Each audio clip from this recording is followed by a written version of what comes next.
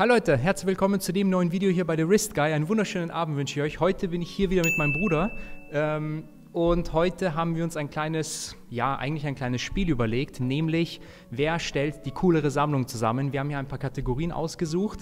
Wir stellen hier erstens vor eine coole Taucheruhr, wir stellen vor eine coole Dressuhr, einen coolen Chrono, eine coole GMT und zu guter Letzt unsere Grail Watch, die die gesamte Sammlung so ein bisschen abrunden soll. Aber bevor wir mit dem Video starten, geht's mal los mit dem heutigen Sponsor und das ist nämlich Watch Crunch. Kennt ihr das nicht auch? Ihr öffnet Social Media, scrollt ein bisschen durch und seht Rolex, Blingy, Feuer, Wristshots mit irgendwelchen Diamanten-Emojis und keine Ahnung das ist irgendwie nicht so cool und mich nervt es, denn das ist kein Uhrenenthusiasmus, sondern das ist einfach nur Angeberei. Aber für uns Uhrenenthusiasten gibt es eine neue Plattform und die heißt WatchCrunch. Für alle, die es nicht kennen, WatchCrunch ist eine neue Social-Media-Plattform von Uhrenenthusiasten für Uhrenenthusiasten, wo ihr euch komplett kostenlos anmelden könnt. Viele Influencer sind auf der Plattform, aktuell ist sie noch auf Englisch, das heißt auch mein Content wird auf Englisch sein, aber ihr seht da sehr viele englischsprachige Uhrenenthusiasten, YouTuber, Influencer, aber auch Presse, als auch bestimmte Marken. WatchCrunch ist die Plattform, wo ihr als Uhrenenthusiast euch praktisch wie zu Hause fühlt. Schaut gerne vorbei. Alle Infos findet ihr unten in der Videobeschreibung. Und auch mein Thema, was ich auf WatchCrunch geöffnet habe, seht ihr auch unten in der Videobeschreibung. Okay, und wir legen los mit der Runde 1, nämlich welche Taucheruhr würdest du in einer perfekten Sammlung inkludieren? Ähm, puh. Also wir müssen noch kurz dazu sagen, dass Budget keine Rolle spielt. Äh, das heißt, also Budget spielt keine Rolle. Wir können ausgeben, was wir wollen. Und da würde ich jetzt als Taucheruhr äh, eine Panne reinnehmen, weil sie sehr ikonisch ist.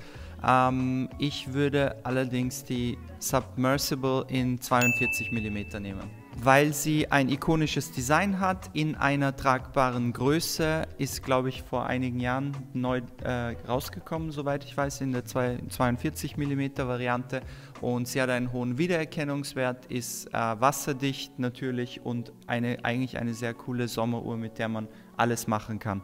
Ja gut, ich meine Submersible, meins ist es jetzt nicht so ganz. Ich finde halt Panerei irgendwie so ein bisschen, ich finde es ein bisschen ausgelutscht. Ich finde ich meine, die Submersible ist immer noch die coolste Variante, aber weiß nicht. Ich meine, die 42er, die sagen, es hätte ein Manufakturwerk, aber eigentlich ist es ein Richemontwerk und ich finde sie ein bisschen teuer für das, was sie ist. Aber meine Taucheruhr, die ich ausgesucht habe, ich meine, ihr habt das Review zu der Uhr wahrscheinlich schon gesehen, ähm, wäre die Blancpain 50 Fathoms Bathyscaphe in Keramik als Chronograph. Die Uhr habe ich hier in meiner Sammlung. Es ist einer meiner Lieblingsuhren, weil ich finde, dass das einfach so eine underrated Uhr ist, weil du sie nirgendwo siehst. Keiner hat sie, aber sie hat ein richtig cooles Werk. Sie hat ein Flyback, sie hat ein Highbeat-Werk, sie hat ein Datum, drehbare Lünette, 200 Meter, 300 Meter Wasserdichtigkeit.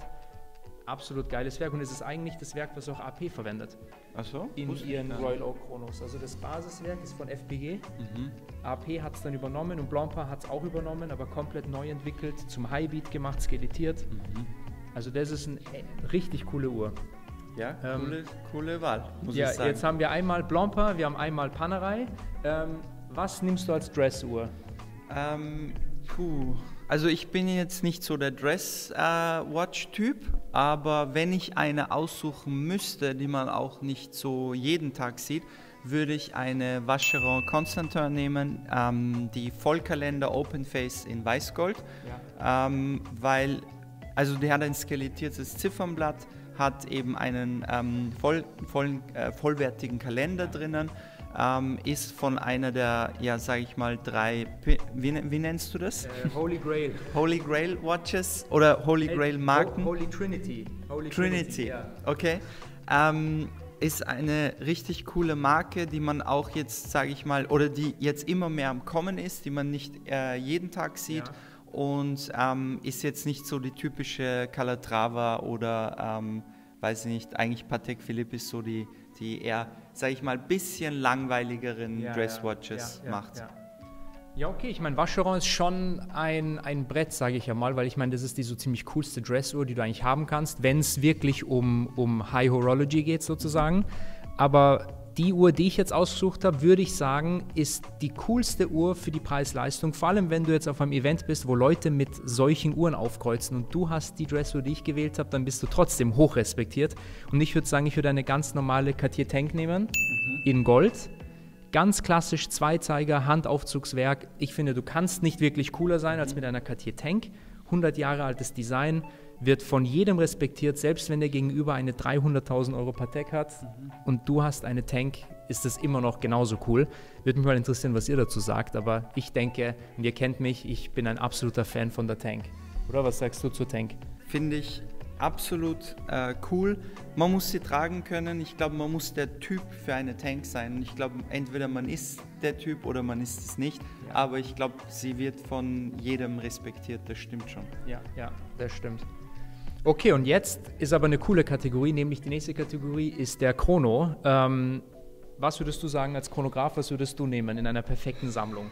Ähm, ich würde erstmal Daytona sagen.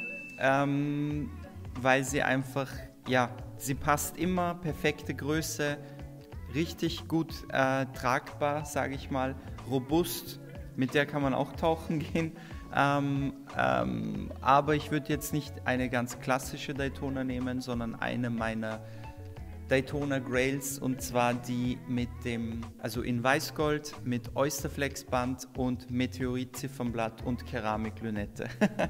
damit man es ein bisschen äh, spannender ja, gestaltet. Ja. ja. okay, das ist die so ziemlich coolste Daytona, finde ich, zusammen mit der, mit der Platona. Obwohl die in Weißgold noch ein bisschen cooler ist als die Platona, weil sie halt keine Farben hat und mit dem Meteorit und dem Oysterflex ist halt schon ziemlich cool. Ich hätte jetzt gesagt Chronograph, da gehe ich jetzt ein bisschen ähm, over the top. Patek hat dieses Jahr eine Uhr vorgestellt, nämlich den, ich, ich weiß die Referenz nicht auswendig, das ist in Platin, Left Hand, ewiger Kalender, Split Second Chrono. Ich finde, das ist der mit Abstand coolste Chrono, den man haben kann, vielleicht zusammen mit der Datograph von Lange.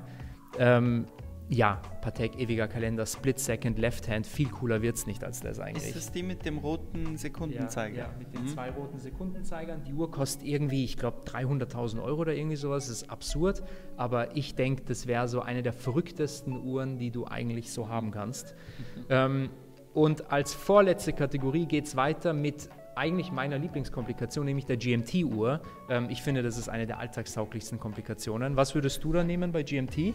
Äh, ich würde bei GMT, ähm, sage ich mal, Grail und GMT verbinden und da würde ich zu meiner Lieblingsmarke greifen, die aber wahrscheinlich praktisch unmöglich zu bekommen ist. Das wäre die äh, Royal Oak äh, Concept mit dem Flying Tourbillon und dem GM, äh, mit der GMT-Funktion. Ähm, ja, absolut Coole Uhr, riesig, ist wahrscheinlich auch nicht sehr gut tragbar. Keramiklünette, Flying Tourbillon, GMT-Funktion und ich weiß nicht, ich finde immer noch, dass diese Uhr irgendwie nicht so viel Respekt bekommt, wie sie verdienen würde, wenn man jetzt den äh, Hype jetzt mit Richard Mill Uhren ähm, jetzt vergleichen würde. Da würde ich jetzt als Marke AP doch ähm, vorziehen. Ja, okay, AP ist schon cooler als, als, als Richard Mill, aber ich weiß nicht. Die Concept Tourbillon ist halt, finde ich, so eine Rapper-Uhr.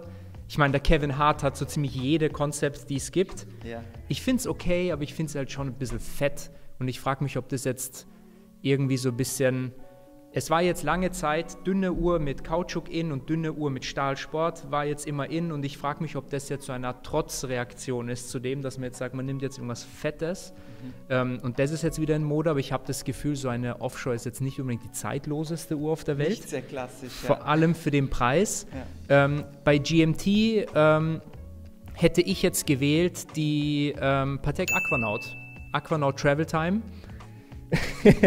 ist, glaube ich, eine der coolsten GMT-Uhren aktuell. Ähm, auch einer meiner Favorites, muss ich sagen, weil sie einfach so zeitlos ist. Sie ist so flach, du kannst sie immer tragen und das hätte ich jetzt als GMT genommen. Und abrunden würden wir die ganze Kollektion mit einer Grail Watch. Du hast ja schon gesagt, bei dir wäre das die Grail Watch, die ähm, Concept Flying Tourbillon. Wenn das Ding kaputt geht, weißt du eh, was das dann kostet. Dann Servicekosten und Tourbillon und aber Weiß wir, ich nicht. wir leben hier gerade in einer Fantasiewelt. Da gibt es keinen Service oder keine Servicegebühren. Wir haben auch kein Budget. Deswegen habe ich mich für die Sue entschieden. ich sag dir, AP wird dir sogar in einer Fantasiewelt noch eine Rechnung schreiben für irgendwas. AP. Aber meine Grail Watch wäre ähm, eine, die nicht nur, weil sie teuer ist, sondern auch, weil sie praktisch unmöglich zu kriegen ist. Nicht mal, wenn du berühmt bist. Nämlich, das wäre eine Patek Aquanaut Travel Time in Roségold, aber Tiffany Stamped. Ich weiß nicht, was es ist. Ich finde dieses Tiffany Stamped, macht eine Uhr, ich weiß, du bist überhaupt nicht der Fan davon, ich finde, es macht eine Uhr so viel cooler, weil du weißt, du kannst es nur an einem Ort kaufen und das ist die Tiffany Boutique in der Fifth Avenue in New York in Manhattan. Und ich war dort, die haben nur Manschettenknöpfe zu verkaufen, ich frage mich, wie die überleben. Aber du kannst diese Uhr nur dort kaufen und du weißt, die Person, die diese Uhr hat, muss ein unfassbar guter Kunde sein, muss unfassbar gute Connections haben. Und dann hast du noch das coolste Modell von Patek in Vollgold, in Travel Time, mit Tiffany stamped. Und dann würde ich es halt auf einem grünen Band tragen oder sowas, so Ding-Style, äh, äh John Mayer-Style. Aber das wäre so eigentlich meine Grail-Uhr und ich wohl wissend, dass ich sie so schnell nicht haben können werde. Aber aber was wäre der Preisunterschied von der gleichen Uhr ohne Tiffany Stamp? Ähm, meinst du jetzt auf dem Graumarkt? Ja. Also ich weiß es ehrlich gesagt nicht. Also auf dem Graumarkt, aktuell sinkt ja gerade alles, aber ich schätze, dass jetzt eine, eine Travel Time in Roségold wird wahrscheinlich so bei um die 100 liegen, 120, ich weiß es nicht. Und in Tiffany wahrscheinlich bei 200 oder so. also 100.000 extra für einen Stempel. für, für einen Stempel, zwei Wörter und ein Unzeichen dazwischen. Aber ja, okay, ich würde es jetzt nicht zahlen, aber wenn ich jetzt zum Listenpreis gehe, gut, ich wäre bereit, vielleicht so 50% über Liste zu zahlen, dass ich dieses Tiffany habe, weil ich finde es halt einfach so cool. Aber Leute, das war jetzt eigentlich so unsere Fantasiekollektion. Ich blende euch jetzt hier mal so links und rechts diese Kollektionen auf und was die Uhr ungefähr oder die Kollektion ungefähr wert wäre. Ähm, wird uns mega interessieren, was ihr aussuchen würdet bei diesen Kategorien. Das fände ich mal richtig spannend, weil es ist ja nicht immer nur die teuerste Uhr, die coole Uhr, weil eben, wie gesagt, die Cartier Tank ist jetzt nicht das teuerste, was geht, aber ich finde, es ist mitunter das coolste, was geht. Ähm, aber ja, lasst uns auf jeden Fall in den Kommentaren wissen, was ihr aussuchen würdet für diese Kategorien. Schaut gerne vorbei unten in der Videobeschreibung. Ich habe ein, ein Thema bei WatchCrunch gestartet zu genau diesem Thema. Schaut da gerne vorbei. Und ja, wenn ihr ähnliche Videos wie diese sehen wollt, liked gerne das Video und abonniert gerne den Kanal. Und ja, wir sehen uns dann das nächste Mal. Ciao. Bis dann. Ciao, ciao.